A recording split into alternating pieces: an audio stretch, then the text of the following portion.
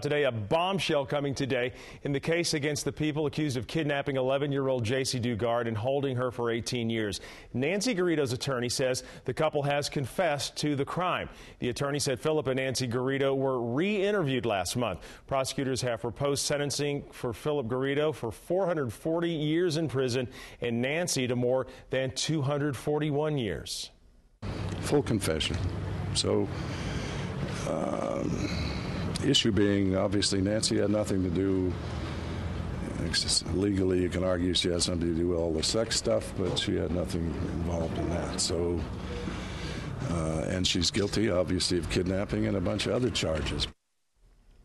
So, joining us live right now to talk a little bit more about the latest twist in this case is defense attorney Johnny Griffin. And, Johnny, thanks for joining us tonight. Sure, Austin. So, we hear all this coming from Nancy Garrido's attorney. So, just on that alone, what do you make of this move? Well, it seems to be somewhat odd to me that um, one of the attorneys would uh, basically tell the public and tell the world that uh, his client has confessed to certain crimes before there's a agreement to resolve the case.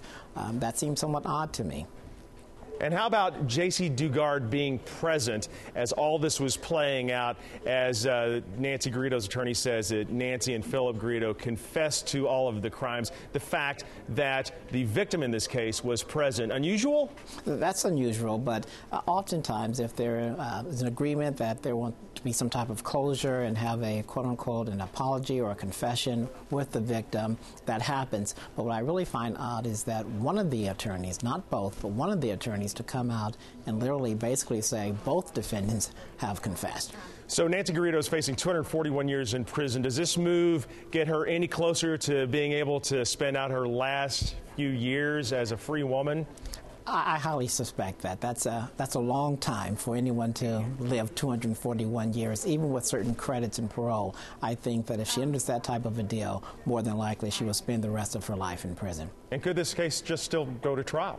Well, that's what makes it so unusual for the attorney to make the statement because if you talk about tainting the jury pool, coming out saying that my client confessed and then you go to trial, you have little hope of getting an acquittal. All right, Johnny Griffin, defense attorney here in the Sacramento area. Thanks for your opinions on that tonight. Sure, Appreciate it.